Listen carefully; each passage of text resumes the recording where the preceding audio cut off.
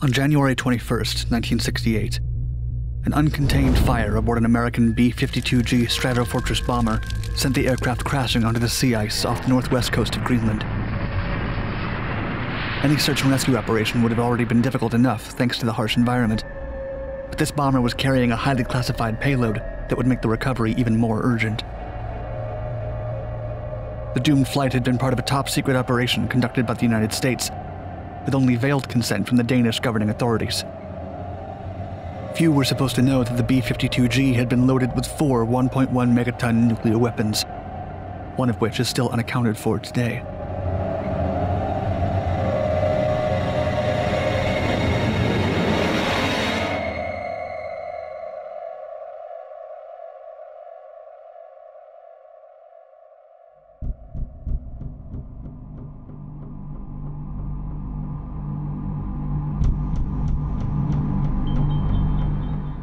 The 1968 accident at Thule Air Base spelled the end for a U.S. Air Force mission known as Operation Chrome Dome, which had begun in 1960 and was run through the Strategic Air Command.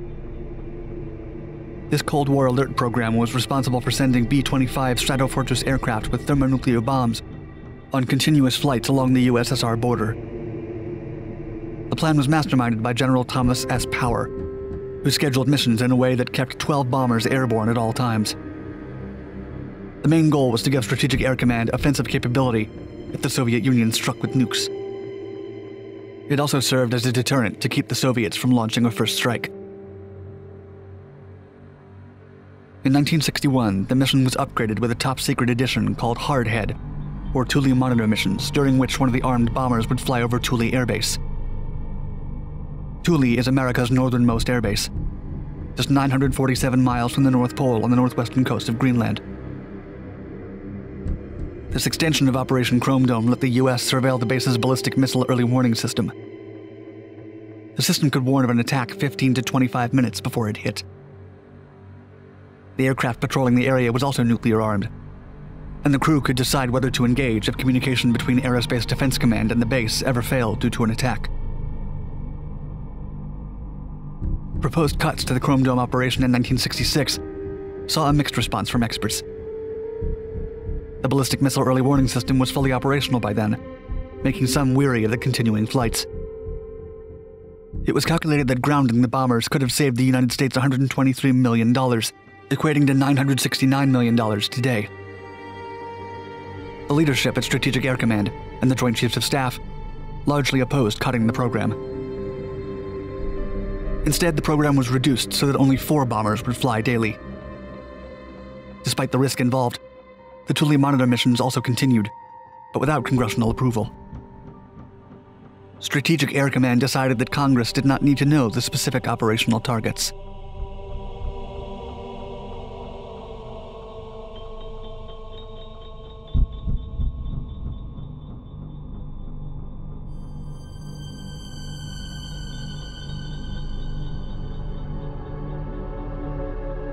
On January 21, 1968, a B 52G Stratofortress bomber carrying four nuclear weapons, while on a hardhead mission, crashed into the ice of the Wolstenholme Fjord, one of the coldest spots on the planet during winter. The aircraft, with the call sign Hobo 28, had been on its supervising flight over Baffin Bay and Thule Base with five crew members. The flight went as planned until their mid-air refueling.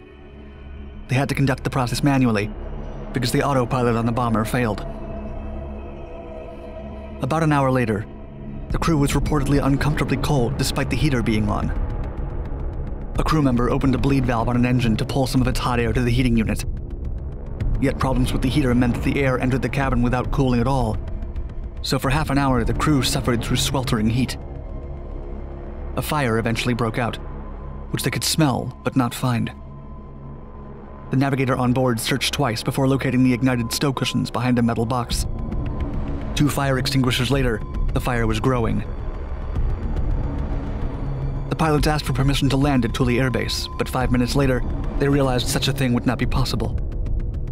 All fire extinguishers were used, the power went out, and the cockpit had so much smoke the instruments had become unreadable. Six of the crew members ejected successfully while flying over the base. Pilotless, the aircraft continued to fly north, and crashed into the ice at North Star Bay at the shallow angle of 29 degrees. The conventional explosive elements of the four 1.1 megaton B 28 FI thermonuclear bombs exploded upon the crash. Radioactive material spread over the area as if a dirty bomb had detonated. Yet nuclear explosions were not triggered. The heat generated by the burning fuel lasted about five hours, melted the ice sheet, and caused the wreck to sink.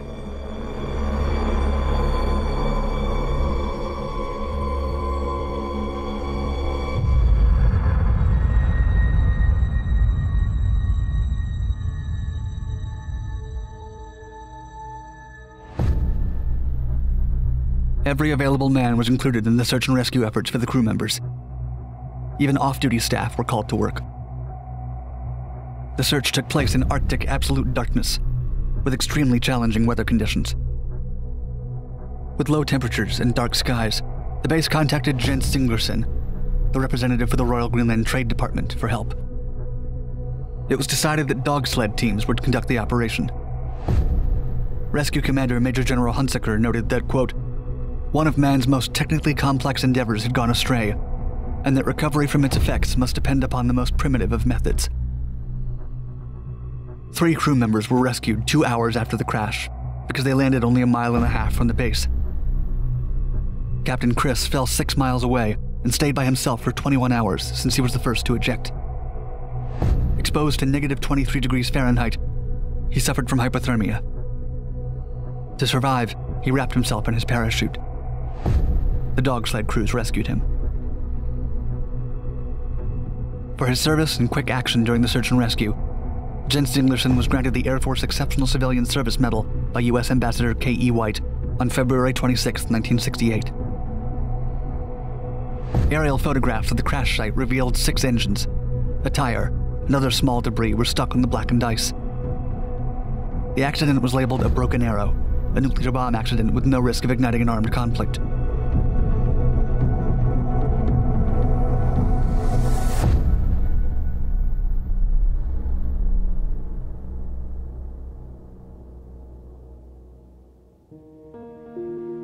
Right after the rescue, the next priority became cleaning up the site of the accident. The explosion had distributed debris and components over a three mile by one mile area. Components from the bomb bay were found to the north of the crash site, which suggested that the aircraft had begun falling apart before impact. At ground zero, a 160 foot wide hole of seawater formed on the ice. A 400 foot black patch of burnt aircraft fuel and radioactive elements formed to the south of the site. Radioactive materials included uranium, americium, tritium, and plutonium. Authorities from both nations commenced Project Crested Ice, also known as Dr. Freezelove, to clean up the debris and limit the damage to the environment.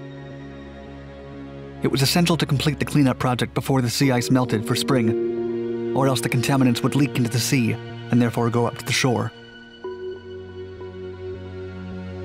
The American Air Force collaborated with Danish nuclear scientists to explore options for the cleanup. For the Danish, quick and thorough removal was crucial, and they didn't want any radioactive material to stay in Denmark. General Hunsaker had to arrange the removal of the contaminated ice and materials for transportation to America. To conduct the cleanup, the U.S. Air Force erected Camp Hunsaker.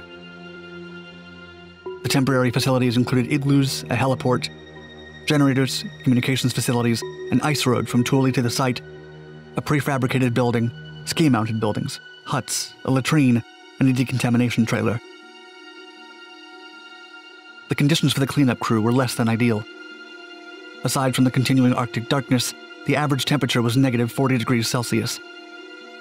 Strong winds in the area could reach 89 miles per hour. These conditions were only mildly mitigated halfway through February with the first rays of sunlight.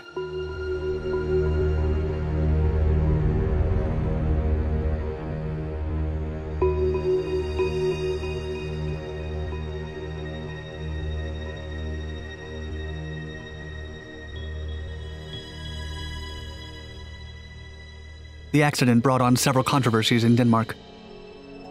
The country had taken up a nuclear free zone policy in 1957, before the Paris NATO summit.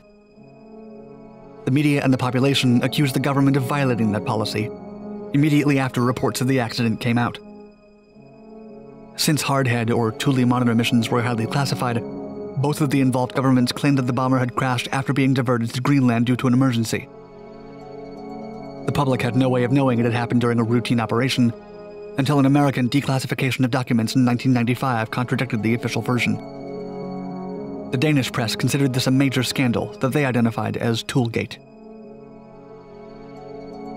The Parliament of the Kingdom of Denmark ordered a report from the Danish Institute of International Affairs to establish the history of American nuclear overflights of Greenland and to determine the extent to which Thule Air Base was used for the missions.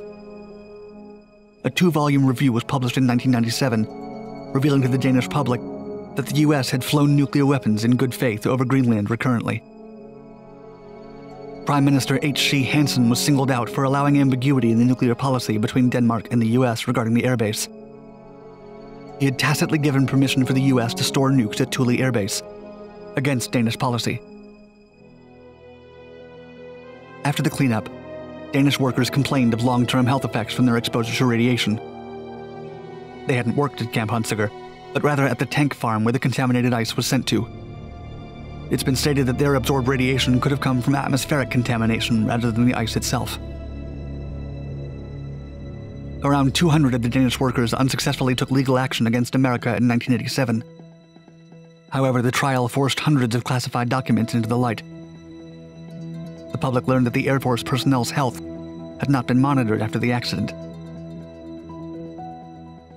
The Danish employees did receive compensation from Denmark. 1,700 workers each received 50,000 kroner in 1995.